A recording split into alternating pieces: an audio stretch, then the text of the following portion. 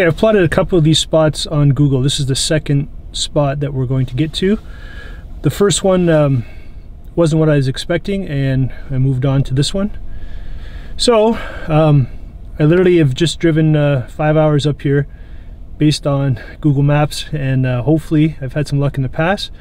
Hopefully this spot will be okay. So we're going to turn right in here and see where it takes us. And um, hopefully we'll be camping here for the next two nights.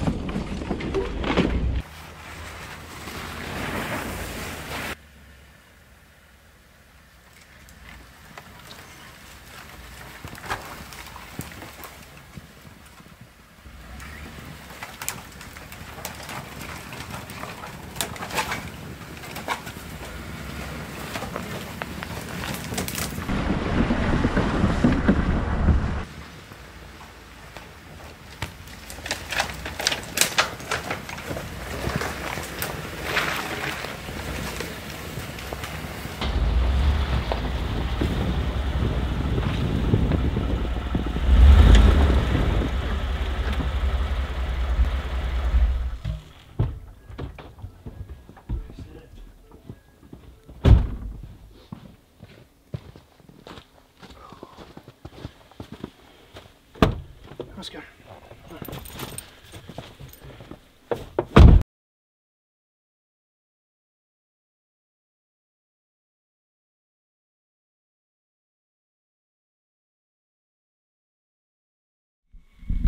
Well, how's this first spot? I was able to get my truck down here surprisingly. We're only about maybe 200 meters down the path from the road, but I think we're going to be nice and secluded here. I can't go much further down the trail. It gets pretty tight, so Scout and I walk down there, and this is where we're going to camp. Not a lot of room, but really I don't need a whole lot. Just the uh, edge of my tailgate to make a fire and to cook and that sort of thing, and plenty of room to explore. Scout and I are going to go do that later. We got to cut firewood up and uh, cook a nice steak over uh, the hot coals just outside the truck here. So it's going to be a great night. So hope you enjoy the video. If you haven't already done so, uh, subscribe before you forget. And uh, I got work to do, so we'll see you in a bit. Mm -hmm.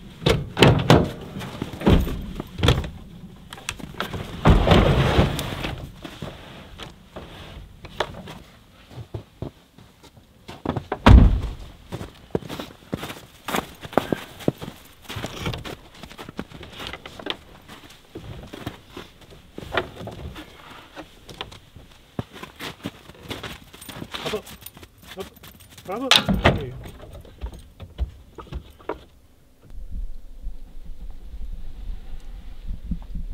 Scout's nice and cozy. She's not a cold weather dog. She's great when she's running around, but I've been setting up around here and she's just been sitting around, so I saw her starting to shake. So in she goes and wrap her up in some sleeping bags and she's nice and cozy.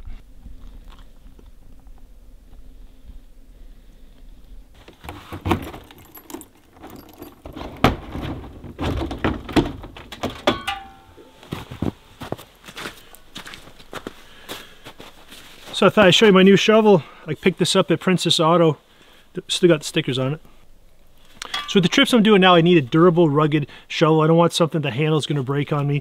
This thing is solid, it's got some heft to it. Saber tooth cut. Nice little braces here to put your foot on. D-handle, just solid. So I'm gonna put this to the test. I'm gonna take these stickers off and this is gonna be my shovel for all my pickup truck camping trips. Uh, I'm not gonna put up my awning tonight if the snow starts coming down, I guess I can. But because I don't plan on putting my awning up, I'm going to try to put my fire somewhere around here so Scout and I can enjoy it uh, just off the tailgate, that sort of thing. And I can be close to uh, the truck and kind of have a fire going while I'm cooking and that sort of thing.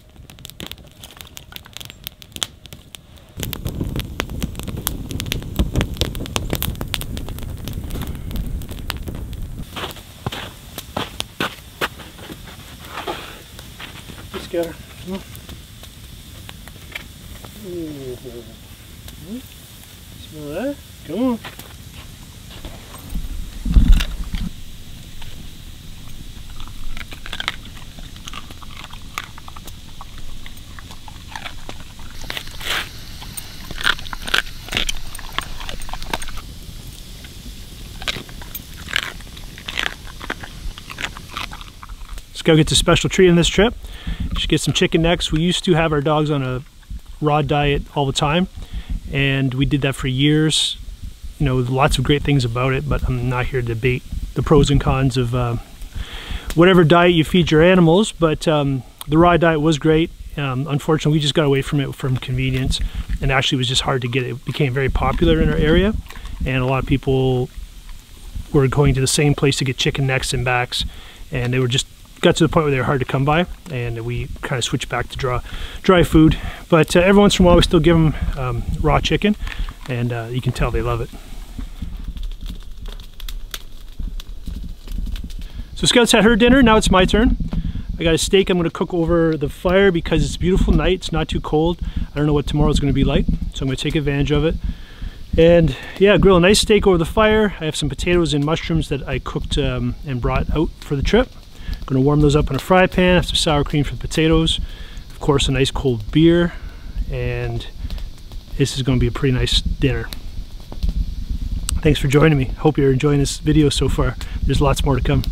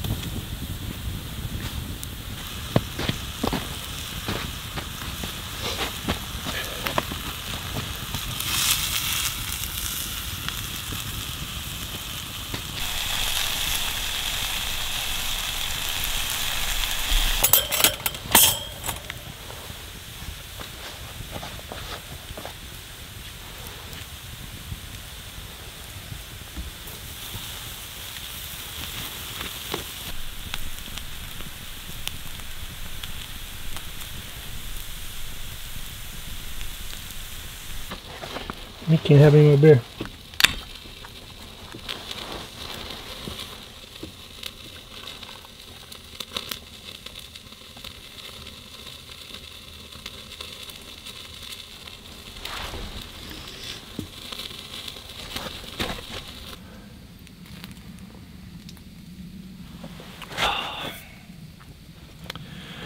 Steak's almost done.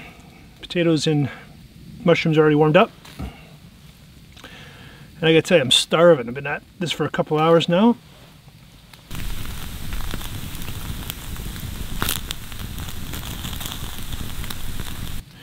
Nice easy stout from Walkerville, hometown brewery. I'm not sponsored by them, but it'd be nice.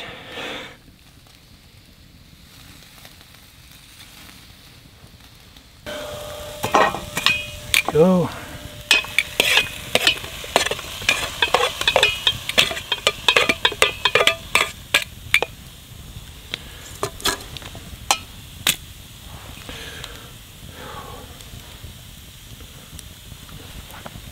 Steak and potatoes, a little sour cream. Scout you ate already. And there we go. That, um, I don't want to drop my thing here. I brought some wood with me on this trip so I could uh, kind of have a good start instead of spending hours cutting firewood. So that was some nice oak that I brought, which really made uh, cooking nice and easy. You know, pine, spruce, that sort of stuff that you can find in these forest cedars. Burns up really quick, right? So um, it's nice to have some hardwood to bring on trips. Oh. Mm, mm, mm. Oh boy. How'd cook it? Yeah, pretty good.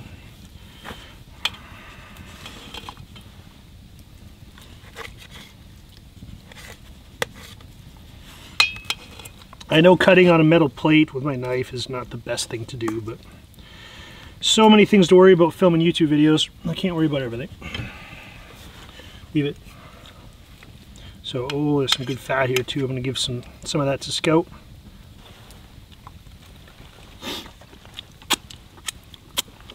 Mmm.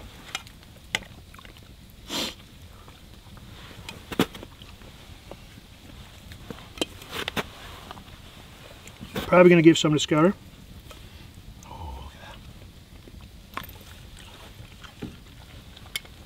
Yeah, she's pretty good on these trips. She's lucky dog, no leash. There's nobody around, so she's a little spoiled that way. But, you know what, all things considered, did a pretty good job with the steak. Nice fire going, middle nowhere.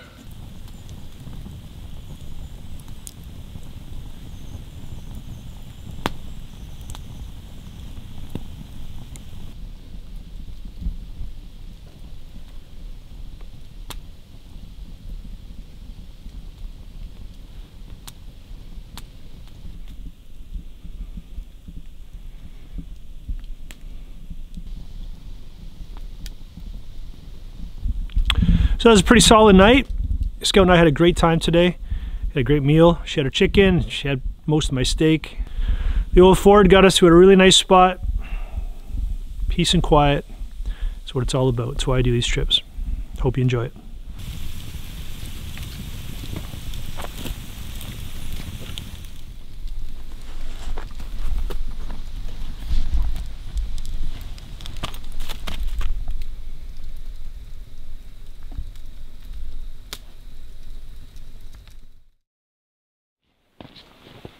Scout, come.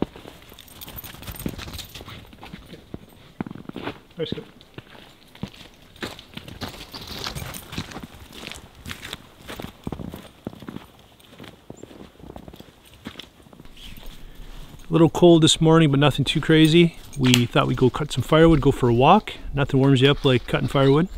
So she's got her coat on. Um, I got my gaiters on to walk through the snow. We're going to uh, find some dead trees cut them down, get a fire going, and just prepare for the rest of the day. And then we're going to do some hikes. And I'm going to show you the gorgeous scenery in this area.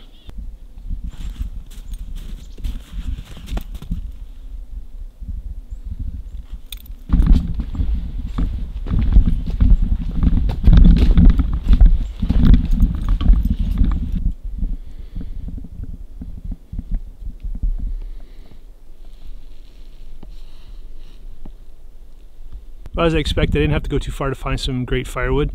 Just a ton of dead spruce around here, just basically right on the trail, not too far from the truck. So it doesn't make sense to go any further than I have to because I got to carry this stuff back to the truck, right?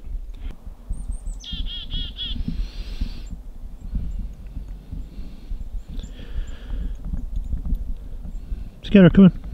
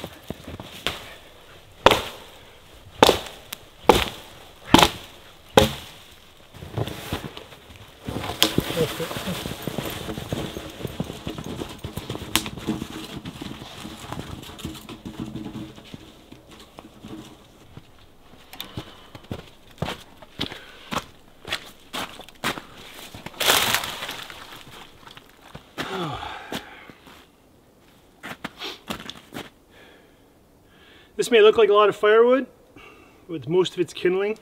When you cut down a spruce tree or small pines in these type of forest in northern Ontario, you're lucky to get really a six inch um, in diameter trunk of the tree, and then it tapers pretty quick, right? So a lot of this is great kindling. Now I'm gonna have to cut off all the branches and actually saw down the trunks, split those, and kind of divide all the kindling and stuff you know, we can have a nice quick hot fire with kindling, but it doesn't last very long.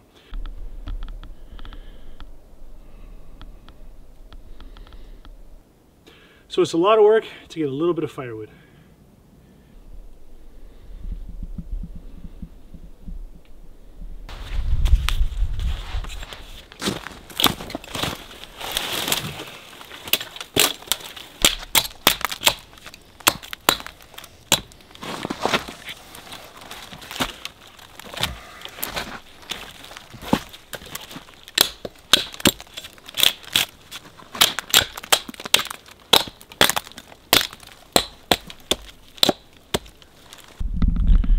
So look at this mess of tiny branches I have to cut off just to get to, you know, some decent sized firewood. But it's tempting just to throw something like that right on the fire once you got it going, but it really kind of just a waste of all your effort. So I'm going to take the time and trim all those small branches off, but this would be the top of a tree of, um, you know, small, uh, small spruce.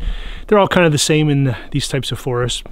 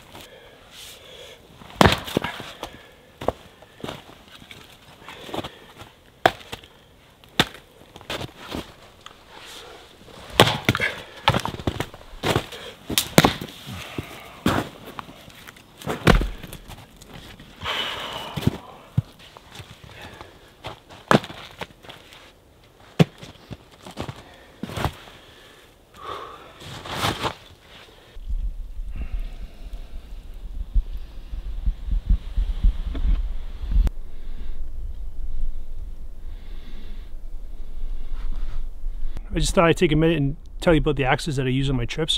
I always bring three. I have a small hatchet. It's a Gränsfors Bruk hatchet. Uh, I use that for trimming and limbing uh, small trees and that sort of thing once I get it down.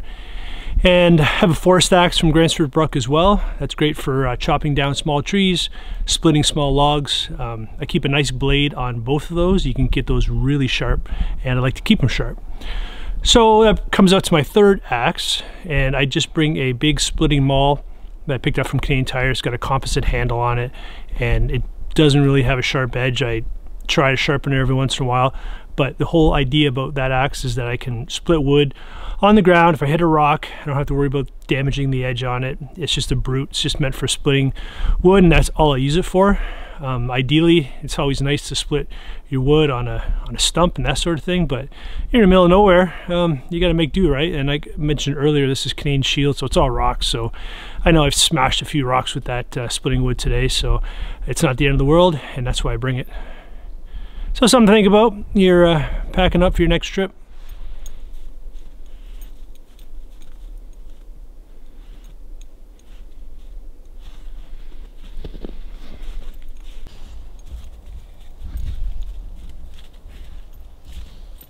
Chopping wood took longer than I planned.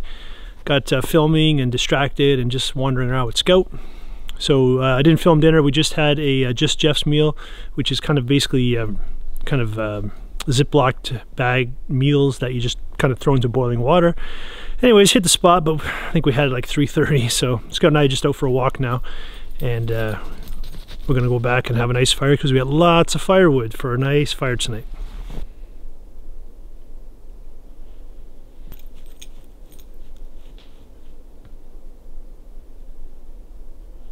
Scooter. Good girl. Come on. Come on.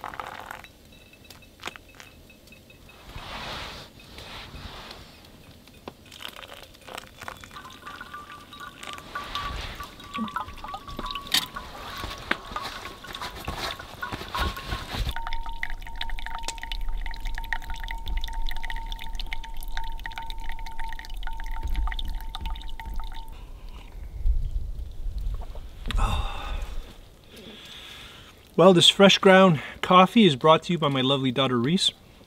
She knew I've been looking for a coffee grinder for my trips, and she's spent uh, a long time looking for one, found one for me, and uh, it was my Christmas gift uh, this past Christmas. The grinder does a really good job, so I'm gonna enjoy my coffee, and we're gonna have some uh, bacon and eggs this morning over an open fire. Thanks, Reese. Coffee's awesome.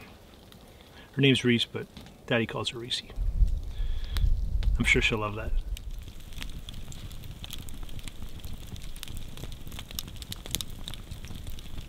So as you can see, we got some perfect coals going for uh, cooking over the grill. Just gotta set up this so we get it up a little, a little higher.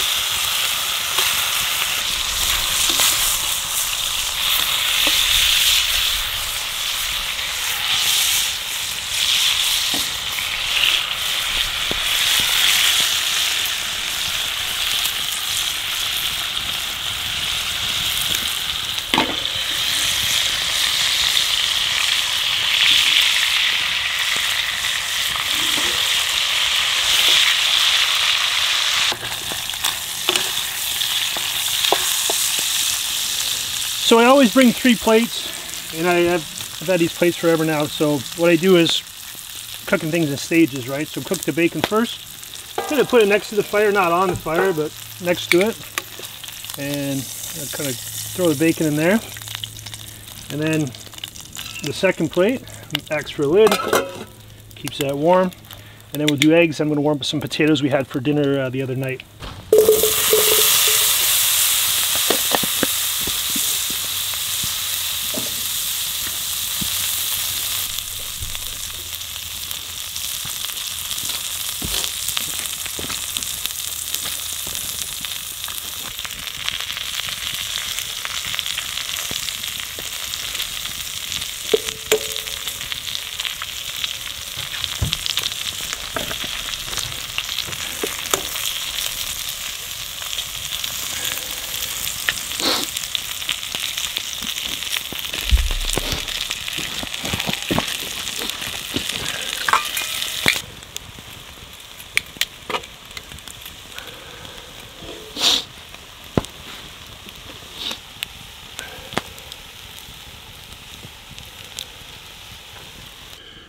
Okay, it's time for breakfast.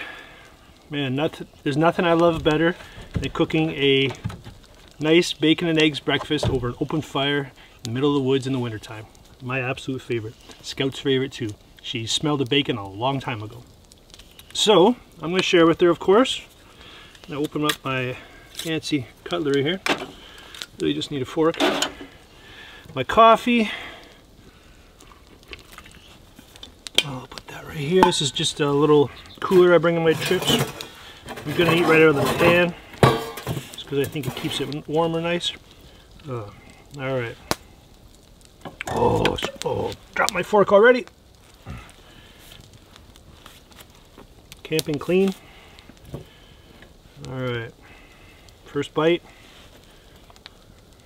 There you go. Oh man. Mmm, mmm, mmm. That's awesome. I almost wish you were here to enjoy it with me. Nice guy. Hmm? Oh. This is probably one of my better ones. Mm-hmm. Oh, that's so good.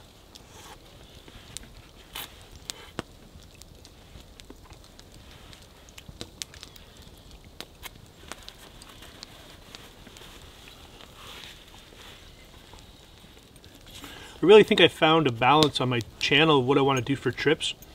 I'm not going to abandon canoe camping and um, bike packing and that sort of thing. But quite frankly, as I get older, you know, these trips are taxing and especially trying to create a video that I'd be happy to put out takes a lot of work. Takes away from the trip. So I think a nice balance is taking my truck on adventures. The way I have it set up, obviously I can get back to remote spots and still do the bushcraft type of camping style that I really enjoy and have always enjoyed. So Scout and I are going to finish our breakfast and we're going to go on a nice hike. So instead of hiking all my gear and carrying all that stuff, I find this truck camping overlanding gives me the best of both worlds. We can get back to remote places, get away from the crowds. This is not a campground.